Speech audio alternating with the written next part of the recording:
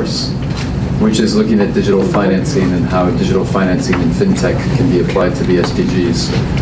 Um, I think the, I have the very unenviable task of you digesting your food while I speak, and also having just arrived from back from uh, a trip yesterday, so I'm also hitting the major jet lag point. So just remember, as tired as you are from food, I might be more tired from jet lag. Uh, the what I would like to do, since we're talking a lot about this issue of consciousness, I want to be conscious of my own biases, and so I'm going to share those with you up front. Uh, so, bias number one, as someone pointed out earlier, I am a white male who was born into a middle class family in Wisconsin.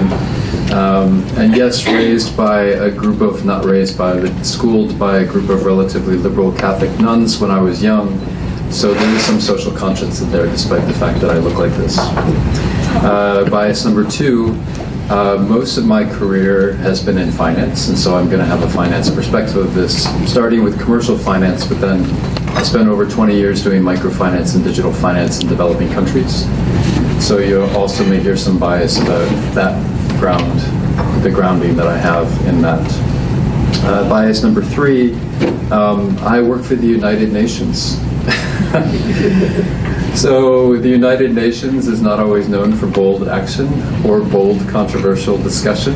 We are a political organization by nature with lots of member states. So while I'm looking forward to having a very good and constructive conversation, um, this will be a combination of UN uh, work, but also some of my own personal beliefs, and I'll feel compelled to tell you when it's my personal belief.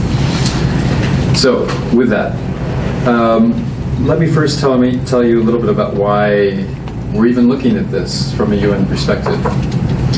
First, financial services in the finance industry is undergoing massive change right now. That's not news to anyone. Digitization of finance has been happening for 50 years. The digitalization, so more technology driven finance, has been happening for about the past 20 years. But what we're seeing now is because of the growth in the massive amounts of data that is feeding new technologies, we're actually facing a real change in the way finance has been done, challenging the way finance was done for the last 500 years based on normal practices. And so, what the graph just shows you is that finance is a relatively mid level change or mid-level actor when it comes to disruptive change. What we mean by that is that there are a lot of impediments to the financial sector changing because of digitalization. The key impediments really are policy and regulatory. It's, uh, it's a very regulated sector. Another is that there are very high entry costs to finance, both in terms of costs of capital, but also costs of technology. But what we're seeing is that through this graph, and this, the point of this graph is that some some uh, some industries are very durable in the sense that they're fairly resistant to change, and that can be because they're either immune to technology or because the, the incumbent power, the structure of that industry is such that the technology is really just going to assist in doing the way things are currently being done and by whom better. As opposed to when you move up sort of around counterclockwise, you get to this viability slide, which is industries that move through uh, disruptive experience go through a period of being high, highly vulnerable, then highly volatile, till eventually they reach a new viable state. But that new viable state could be represented by very different actors than were in the durable state, and by very different business models and practices that existed when they were in the durable state. And so some examples of those that are up in the viability corner, for instance, are the communications industry. Imagine how much communications has been disrupted by technology. But the entertainment industry. The entertainment is now one that's moving towards a new level of viability, but has been under massive disruption in terms of music and video, et cetera, over the last few years.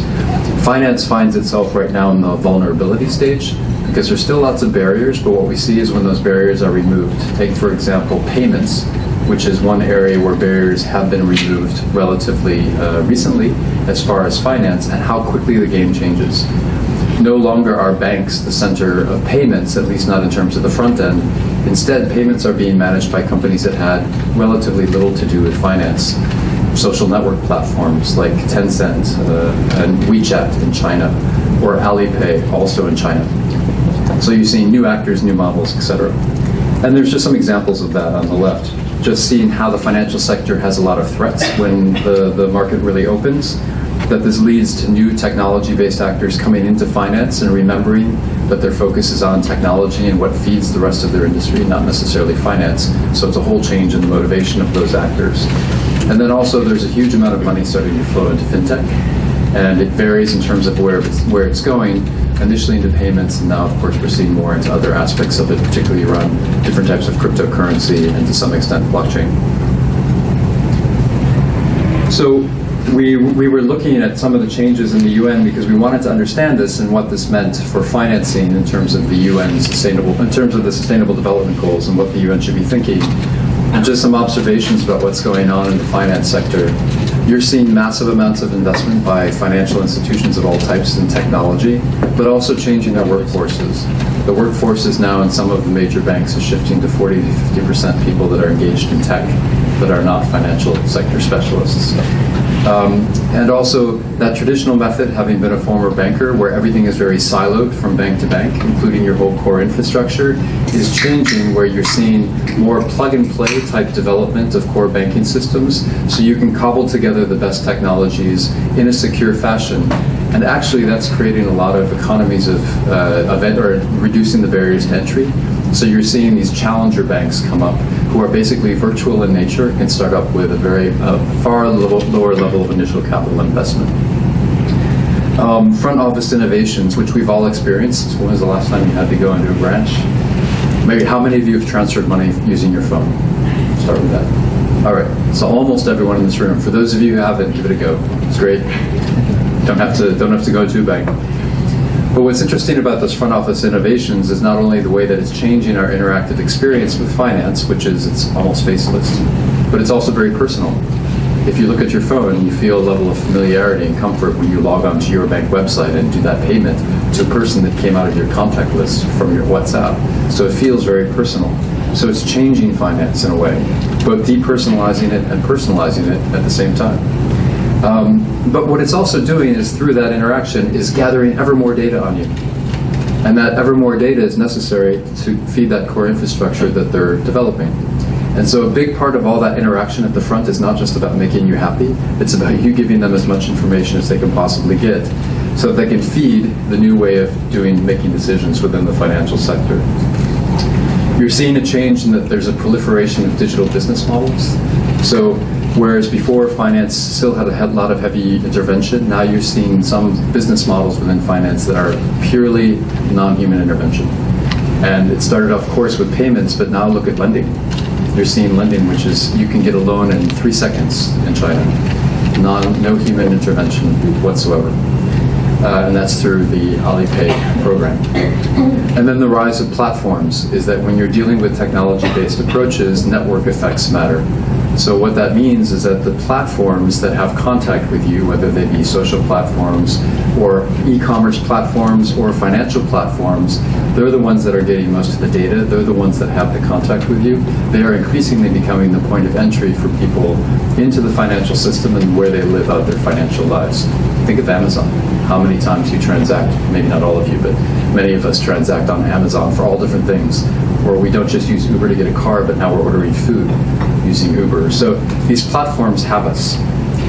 And then last but not least, which we'll talk about later with Stefan, is the changing role of monetary systems as a result of the digitalization of currencies in many different ways. So the Secretary General, um, of course, is one of the major supporters and uh, thinkers about the SDGs. He put forward a strategy last year at the General Assembly about financing Agenda 2030, and he pointed out several issues that he wanted to the UN to consider in terms of what it should be doing. And one of them was how do we harness the power of financial technologies to achieve the SDGs. And he specifically mandated that the head of the United Nations Development Program form a task force, and that's with whom I'm working to develop this task force and put it together to advise the Secretary General on four basic questions. What's going on in terms of fintech and finance? What are the applications of this so far to the SDGs? And what, what are the trends and what does this mean for the future and what the UN should be doing? Uh, here are members. We have a very diverse group, everywhere from Samoa to Benin, uh, also to Europe and to Singapore. So it's been a really interesting experience for me personally to work with someone who runs the stock exchange in New York And then, of course, more along my previous lines of work, working with someone who runs the second largest mobile money provider in Africa. Um, so we had to start with what the problem is. If we're thinking about funding the SDGs, we should think about, well, why aren't the SDGs being funded currently? And we've talked about that quite a bit. So the list up here really isn't an exhaustive list of the barriers that we need to overcome, but there's some of the common ones that consistently pop up as to why the SDGs aren't getting the finance that uh, the finance that they should.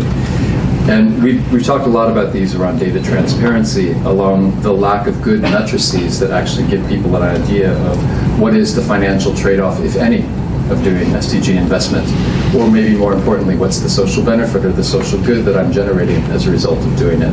That clearly is a major issue that keeps coming up. Lack of good instruments we've talked about as well.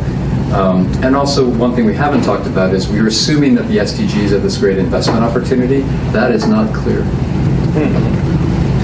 From an individual level, it is not clear that every SDG is a great investment opportunity. Collectively, we know that they are, individually, maybe not so much. So we just have to realize that not all SDGs are the same. It might, you, for instance, you're going to have a lot more ability, and we're seeing a lot more steam on industries like clean energy, which have a business model that's enabled by digitalization and also has a profit model behind it, and you're seeing money start to really flow into clean energy. But you're not necessarily seeing that in terms of, say, gender equality you're not necessarily seeing that in terms of ending hunger. So it just depends. The SDGs are not all alike, and therefore the source of funds for each one is going to be different as we go forward. And one thing I just wanted to mention, we discussed it briefly at our table before I go to technologies, is that when we talk about financing the SDGs, we tend to think about you know the capital markets, and I will come back to that with some figures. But the fact is, the way that SDGs finance SDGs are financed today especially when you go in the developing world, is largely people out of their own pocket. I'm financing my education. I'm financing my health care. I'm financing keeping my daughter in school. I'm financing securing water for my family. So when we think about financing the SDGs, we have to remember that people actually paying to finance the SDGs are often the individuals themselves. So as we talk about unlocking capital for the SDGs, we have to also think about how do we provide the models for individuals to help unlock the capital themselves in order to be able to invest in their daily lives. Because the great thing about the SDGs, and we talked about incentives, is that they improve my life individually. Many of them improve my life personally. Many people around the world are super incentivized to solve their own SDG problem. So the question is, how do we help enable them to do that? Uh, because that would go a long way. So we took a look at a lot of the different technologies that are being applied to the digitalization of finance, and I'm sure a lot of you in this room are familiar with many of them. Uh, some are at high, very high levels of adoption and are really feeding into this disruption. Cloud computing, while it doesn't sound sexy, is a major driver of innovation within the financial sector because of the incredible reduced costs of setting up a financial institution due to cloud computing. It's, it's a major part of the disruption. Far less so is blockchain. Blockchain is really exciting, and I know every, everyone loves to talk about blockchain and the possibilities, and it does have amazing possibilities, but it is not actually very disruptive at present in terms of the financial sector. Much more disruptive are open, open banking APIs. That is hugely disruptive right now in the financial sector. So I just point this out because as we think about where we are, we sometimes have to separate maybe the hype from where we are, because sometimes the less sexy things like open APIs could be the more transformative than the more sexy things like, say, Internet of Things. Although we'll see, they could be as well.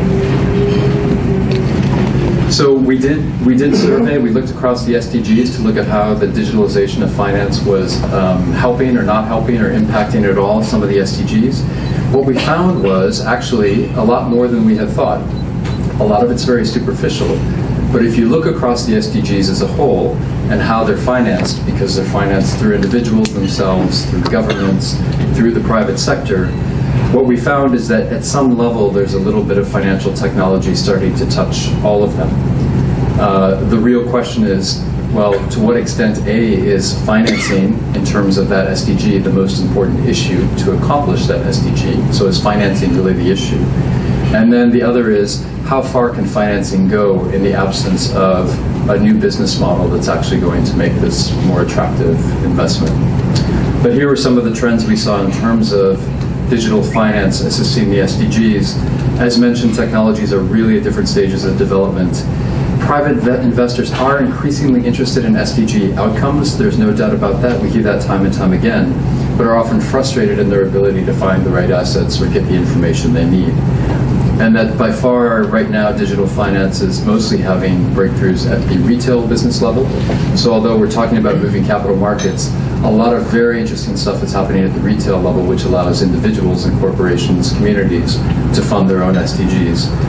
And that, you know, I mentioned governments before during our breakout session because governments are laggards. Governments are very slow to this digital finance game, and they will remain the major funder of SDGs for years to come. So that's a problem. We really have to focus on, on governments. And then last but not least, is there are not inconsequential risks to this in terms of what can happen as far as outcome. And I'll just show a slide. Because uh, as we dove down into the SDGs and technologies, we wanted to look at the pros and the cons. So, for instance, there are a lot of great possibilities with big data and artificial intelligence, but there are a lot of real risks in terms of exclusionary impacts of big data and artificial intelligence that need to be considered. So, as we are thinking very proactively about how we use digital to finance the SDGs, we also need to think a little bit defensively about how we avoid some of the worst case scenario outcomes, which is how do we not make the situation worse because technology steps in to intervene. As an example, we were talking just in the corridor about uh, insurance. The insurance industry and some of its models are really going to be challenged by this individualized nature of data going forward. The whole idea of insurance is based on this idea of mutuality. Well, if I know everything about my neighbor and how they live, wouldn't I start to self-select them out of my insurance pool? Having worked in microfinance for years, which was based on mutuality, let me tell you, that is exactly what happens people, when they have enough information on whether somebody's a good or a bad risk, within their communities or their structures, start to wean people out or bring them in. So the fact that we can now start to pinpoint people's own behavior, their financial behavior, et cetera, down to the individual level, does put under strain sometimes this idea of collectivism or mutuality. And it's just a risk that we need to consider. And so some of the key opportunities that we've been focused on, they're very general, so my apologies for that, but there is there are some great opportunities in terms of digital really helping to mobilize more funds. So especially in a couple of areas. One is domestic resource mobilization within countries themselves. There is money in a lot of the countries where we want to achieve the SDGs. It's mobilizing that money in a more efficient way. And then second is that there is a lot of interest of private sector investors, as proven by the clean energy sector. When you give them a business model, they will come. And there's a lot of interest, but we need to find a better way to crowd them in faster around other SDGs. Uh, redeployment, as we're sitting in the World Bank, there are a lot of outdated models for how we do development finance. So how do we organize development finance as an industry more towards building opportunity as opposed to doing same old, same old. Um, and I'm going to talk more about that. And then how do we better utilize existing financing by making it more efficient?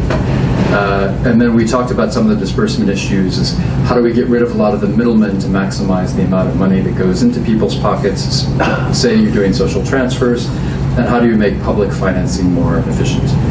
But I wanted to point out we do recognize there's risks and barriers, and one of the big ones, of course, is further discrimination as a result of data.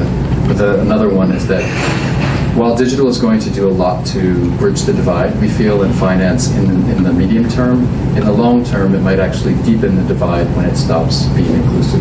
Because there's going to be a whole generation or group of people that are outside the digital economy and they could fall increasingly further and further behind. And then crypto. I'm going to turn it over to Stefan, who's going to talk more about crypto. We have looked at uh, the impact of national and global monetary systems and I guess we in the task force don't have a view on this yet. What we do see is that it's in its early days and it's something we need to keep an eye on.